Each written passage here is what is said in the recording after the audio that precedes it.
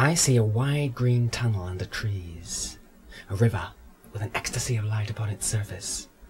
We're reclining in a gondola together, you and I, pulled along with strength and ease by a ferryman of animal allure. Beside, and behind, and in front are other gondolas, propelled by a pride of human creatures of a near unnatural beauty. The vault of leaves above is dense and luminous, receding to a needle-sharp stiletto of infinity ahead of us.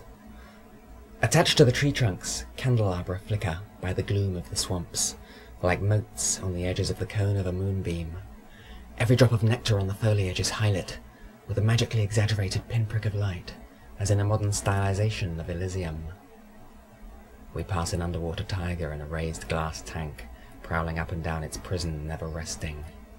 Each splash from the pole echoes out across the water, through the tunnel, down the regress, into folds of flooded forest endless centuries away.